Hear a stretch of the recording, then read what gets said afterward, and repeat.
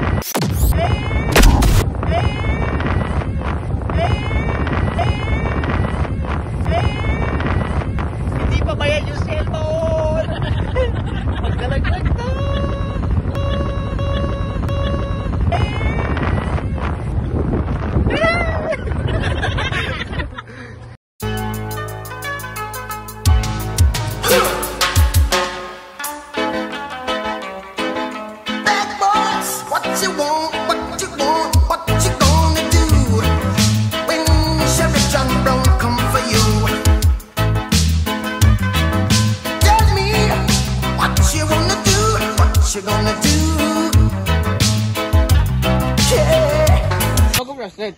Para mag-flashlight. Flashlight, paano makikita? Hindi, para kasi naka-vlog ako, 'di ba? Paano tayo na? Guys, dito kami sa ano?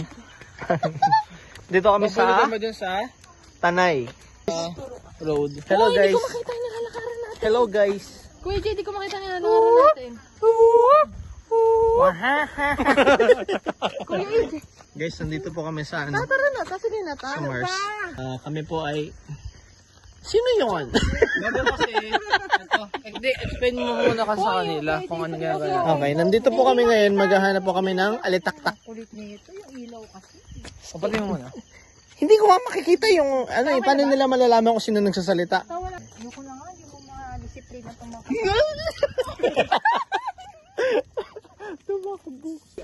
Hello guys. Siguro pang pitong hello guys ko na to. Hello guys. Hindi siya ma, ano. Ginagawa pa kasi kung paano magpalabas ng ano, yung at para Uy, gagi!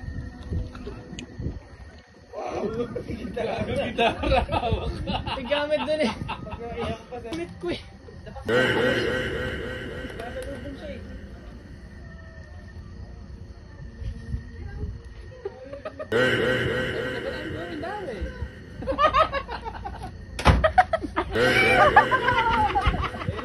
Ang ganda niya, oh. Ano yan? Ano? Ah, may pagal yung sanggol. Pero, chinelas pa rin yung mama. Siguro yung sanggol nang galing po dito.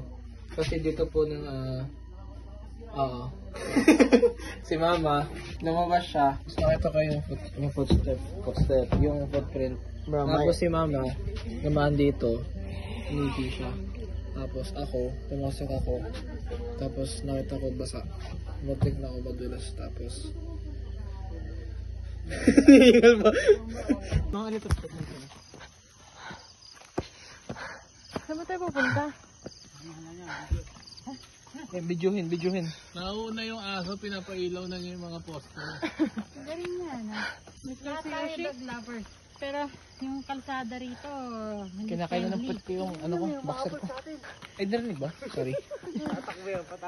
Yung anong trip niyo? Yung sakit ng itlog ko. Yung legs ko kinakain niya yung boxer shorts ko. Yung itlog ko kinakain niya yung singit ng boxer shorts ko. Not good! Hala, ang ganda ng stars. Oh my God. Kuya AJ yung stars. Motion sensor din dun ah. Kuya AJ yung stars. So, oh, yeah, I know that's SARS. What else, bro? Eh. So slowly, slowly, time goes by. So slowly, slowly, time goes by. So slowly, slowly,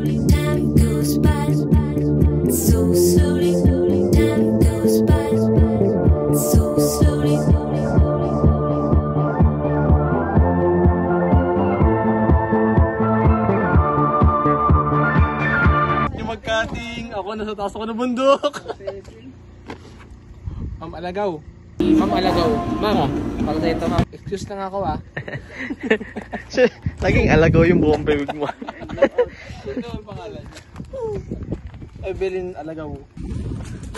Ganyan na, tigil ka dyan. Tapos mag-zoom.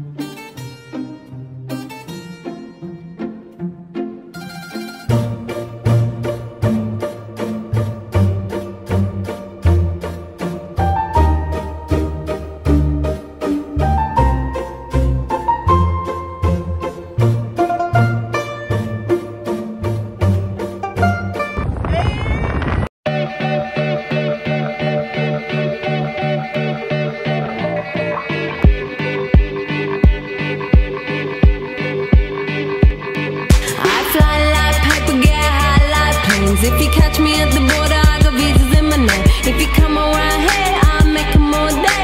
I get one down in a second if you wait. I fly like paper, get high like planes. If you catch me at the border, I got visas in my name. If you come around here, I'll Hello guys. Dito po kami guys sa St. Mary Magdalene Parish. Kami po ay ah, nagpapainit. Ganda ng salamin ko. 10,000 yan. Yabang. Tawa si, ano, Doña Victorina. Kayo naman. Ano kayang problema niya? Kasi, ano yan eh. May idea na naman yan. Alin? Bahay na ba ito daw? Funeral home. Funeral puto.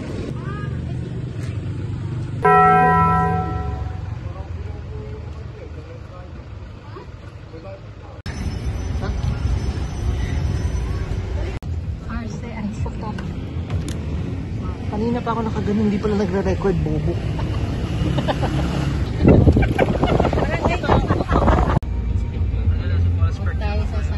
Sige, kayang-kaya. Kayang-kayang gumasgas. Pakalang konti. Pakalang ka. Hindi, hindi. Naku po. Hindi yan. Pag may narinig tayo, hindi go. Maluwag dito. Maluwag pa. Hello guys, nandito po kami sa cemetery. gulungan. Cemetery. Oh my gosh, bukas.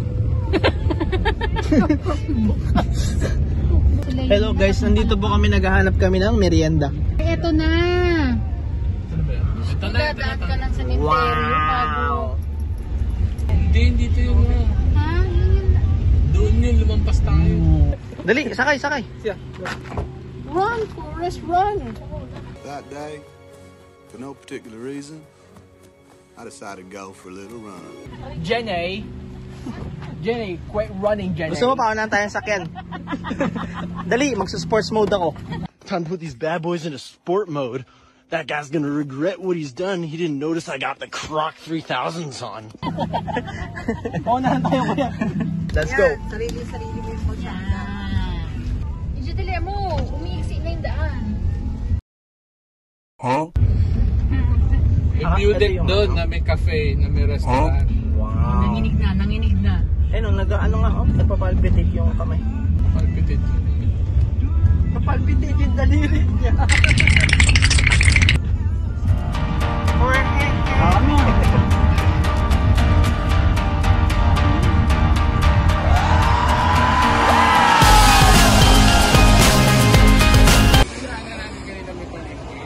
Hindi sa daranak mismo.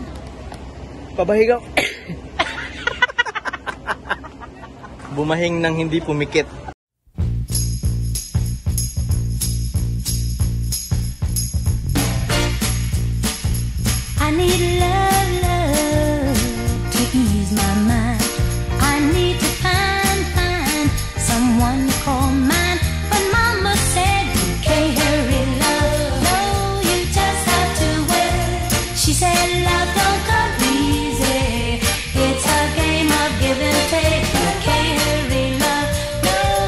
You Ito.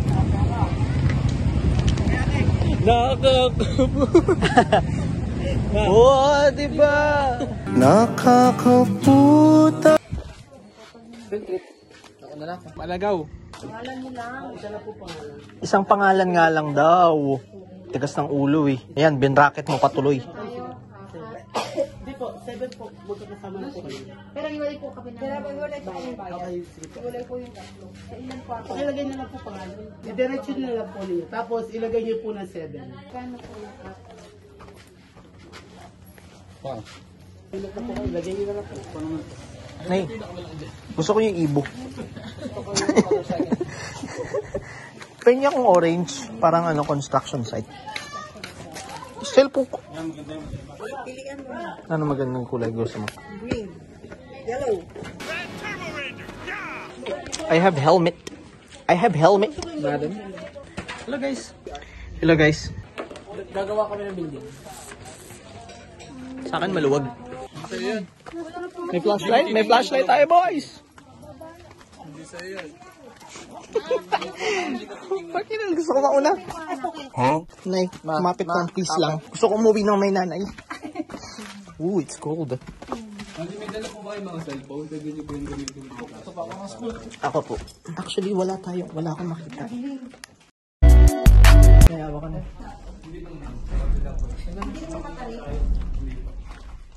Hindi ka sa basket.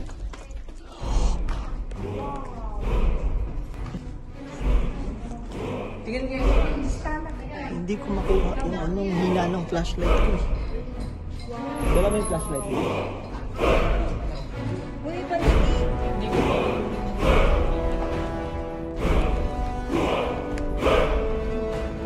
So bago po tayo mag-explore ng first and second layer, so magkakaroon po tayo ng short brief. So magandang hapon po sa inyo lahat. Welcome po sa Kalinawan Cave. So ako, kami po ang inyong magiging cave guide. Ako po si Kuya Bonden. Sa tail guide naman po si Kuya Marvin. Okay? So ang i-explore po natin ngayon ay first and second layer ng Kalinawan Cave. So ito na po yung pinaka first layer niya. Okay? Sa first layer po, kung mapapansin nyo, mataas po yung ceiling, maluwag yung area, then kahit pa paano may liwanag pa po tayo makikita. Pagdating natin ng second layer, puro kabaliktaran na po siya. Okay? The second layer is zero visibility. Medyo mababa na po yung ceiling, then medyo makipot na yung area. Pero kasya kami na. Yes po ma'am, kasya po tayo niyan. Hindi ako mahirapan magano. then yung mga area na gusto nyo picturean, picturean nyo na po dahil hindi na po tayo dito. Dadaan. Okay, ito po, sa kabilang na po natin. Pero ma ma ma maigsi lang yung trail nung second Yes po ma'am. leg. Then may ma- may mga makikita tayo dito mga rock formation, optical illusion. Yun po yung mga stalactite and stalagmite. Then yung mga bawal naman po nating hawakan, kagaya ng curtain, column, yun po yung mga natural minerals. Mamaya po ipapakita ko po sa inyo. Then yung pinakang history ng Kalinawan Cave, mamaya po ikwento ko po sa inyo. So Wala ready na namang ahas dito? Wala po ma'am, safe po tayo. Cap. So ang gagawin po natin, Saan? Huh? O baba. Pag video, hindi ko makita. rock formation po tayo, optical illusion. Mukha po siya ng tao na naka-side view. Okay? Oh, man. Apo. So, nai-imagine niyo po ba? Apo. Ito yung mata niya, ito yung kanyang bibig. Huh? Sige po, picturean niyo po, magawa po yan. Okay, tingin po tayo sa mga cave wall yan. Kung nakikita niyo yung mga kumikinang na yan, mga ano lang po yan, artificial paint or glitters lang po siya. So, ginamit po yan sa shooting. 2,000 movies po na, na po ang nakapagtalang ng shooting dito. So, babanggit lang po ako ng ilan. Kagaya ng oh, yes po. Go. Exote, Encantadia, Waku Waku, Dwar- Dwarfina, Jezabel. So marami po pong iba. Captain Barbell, yan. Pro, ang probinsyano. So yan po po. Then sa international na nag-shooting dito, nakapag-shooting na po dito si si Jared Chan. Ang shooting niya dito, Super Play 1 Operation Condor 2. Pag umutot ako, sorry. Nautot kasi ako eh. Sorry nga eh. Nakatot ka. Oo. Ako. Wait lang po. Buntot ang helmet ko talaga. Wow. Yung sa amin ni Mama hindi. Parang bago siya. Kailangan yung flashlightan, hindi ko talaga maano. Okay, tingin po tayo sa taas. Kung nakikita niyo yan, rock sa ceiling, so yan po yung tinatawag na stalactite. Yung mga nakausting batong yan sa taas. So, nagkakaroon po ng moist dyan, then pumapatak po siya sa ground. Kagaya po na ito. So, pag pumatak yung tubig galing sa ceiling, nagpo-form po siya ng stalagmite. Okay? Then, para hindi kayo malito sa dalawa, yung last letter C ng stalag means ceiling. Then, yung last letter G po ng stalag means ground. Okay? So, pag nag-meet po yung dalawa, ito na po ang tawag sa kanila. Ano na sila? Column na po yung column. Nag-meet na sila or nag-combine. So, 190,000 years bago mo mag-form ng ganyang kalaking poste. Dahil yung Kalinawan Cave po is dry cave, so mabagal po yung proseso niya. Mahaba po yung stalactite sa ceiling ng 10 cm, aabutin po to, to sa loob ng 190,000 years. May patak pa siya hanggang ngayon. Mapatak din. Sa ngayon po, wala po man kasi po, ano, dry cave. Effect po ba yung glitters o ano? Ito pong glitters po. Natural. Effect. Then, ito po yung Bakit mga nila minerals na pinulayan ng po natin ganyan? Nay, So, ito Uy. na po yung mga- Okay. Okay, kaya po bawal siyang hawakan. Tayong mga tao is acidic po tayo. Hala! Ayan, acidic pa yung tumapat. Kaya may tendency na mawala po yung tinang nila or madilim. Pero bakit pinayagan sila na anuhin? Kasi po ma'am, dati po hindi pa po po under ng DNR. Ah, DNR. sayang naman. So ngayon po under na po. So ito, ito yung tinatawag naming mini grotto or altar, okay? So dahil kung mapapansin niyo yung batong iniilawan ko, yan, para po siyang si Mama Mary. Eto ko. Nagigets niyo po ba? Mag-iingat po tayo ha. May dinosaur po dyan nangangagat. Nakita ko liwanag. Gusto ko bika. So, rock formation po ulit, yan po yung tinatawag na curtain formation. So, nag-form na daw po siya ng hugis cortina. Hindi po yung mga minerals na bawal din po nating hawakan. Hindi po siya kagaya ng stalagmite and stalak stalactite na nag-meet or nag-combine. Yan po ay nagmumula lang sa mga agos ng tubig na naganggaling sa, sa cable po. Yan, kagaya po niyan. Then, banang araw, magiging isang curtain din po siya. Grabe, sobrang tagal. Nga po itong kanilawan cave, dry cave po siya. Mashiny niya. Diba? Tapos puputulin mo. Oh, madulas ah. po tayo ng second layer, so ingat lang po. Hindi po tayo dadaan sa malawak at maliwanag na area. Dito po po tayo. Okay po. 80 to 90 feet po, below ground. Ako kasi 6 feet. Cap. 5 feet lang. So ito po, rock formation po siya. Dali, bibidyoan ko kayo, tumatawid kayo. Ay, may helmet nga ako, yung likod ko naman tumama.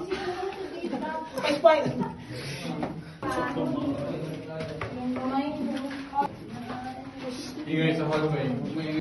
So, 10 meters dapat po tayo dyan. Dapat ang siko, dapat din ang tulog. So, ready na po kayo? Ayoko po ng lupa. So, huwag po kayong mag-alala, hindi tayo din dadaan. So, ikukwento ko sa inyo bakit siya tinawag na kalinawan. Okay? Itong kalinawan cave po unang na-discover taong 1572. Sa mga panahon na yon, wala pong kinilala, tinukoy na pangalan kung sino po yung unang nakadiscover. Sa pangalawang pagkakataon po, na-discover itong muli noong ta- taong 1901 na po. Then, nan- 1980s na open na po siya sa public. Ang nakadiscover sa Kalinawan Cave, pag-asawang Chodo Lapiling at Felipe Matalino. Naging informer din po sila ng guerrilla during the World War II. And during the World War II, dito na po dumating yung mga Hapon noong araw. So two months po silang nag-stay dito sa loob. Opo. Bago sila napasurrender ng mga Amerikano. Itong Kalinawan Cave po, ginamit din po nilang hideout, waiting place, hospital. So, dito po nila- Mama, mamaya ka So, dito nila ginagawa. So, nagtataka po ba kayo bakit siya tinawag na Kalinawan Cave? Nung pinatay po natin ang ilaw, halos tayo magkalagwan na. Okay, tinawag siyang Kalinawan Cave dahil dito nagkaroon ng agreement, kasunduan yung mga katipunero Pilipino at mga Amerikano laban sa pamamahala ng mga Kastila noong araw. Dito sila nagpaplano, hanggang dito nila nililinaw lahat ng plano nila. Kaya po siya tinawag na Kalinawan Cave. So, isa rin po si Macario Sakay sa nagtago dito sa loob ng cave show. Si Macario Sakay, tinaguran din po siyang si Robin Hood. Okay? Dahil niluluuban niya po yung ibang mayayaman, then pinapamahagi niya po sa mga nangangailangan o mahihirap. Then kung gusto niyo pong malaman ang ibang history ng Kalinawan Cave, just click on Google. So ito yung tinatawag na The Sexy Way or Macho Way. Okay? Kailangan, hindi daw kayo sasayad sa magkabilang parte ng bato para masabing sexy kayo or macho. Suko na ako. May iba pong lugar. Ala pa pa yung ulo mo. Kasi kung gano'n, puro, puro puwet kasi yung shot ko eh. Huwag kasi. Hindi ko iniilawan yung puwet mo. Ang sinasabi ko, Wala na may kasha ako. Sorry. Uy, hindi ako natin. Yung ulo ng asawa ko. Dito po ma'am. dito ba siguro si Spark ko? Dito, dito. Dito siya. Dito siya. Dito na tayo magstay. Nasa inyo. Pa, one, two, three. Wait lang. Ba't ka gumalaw naman ay video? Ay, Dato din daw. Ikaw din to.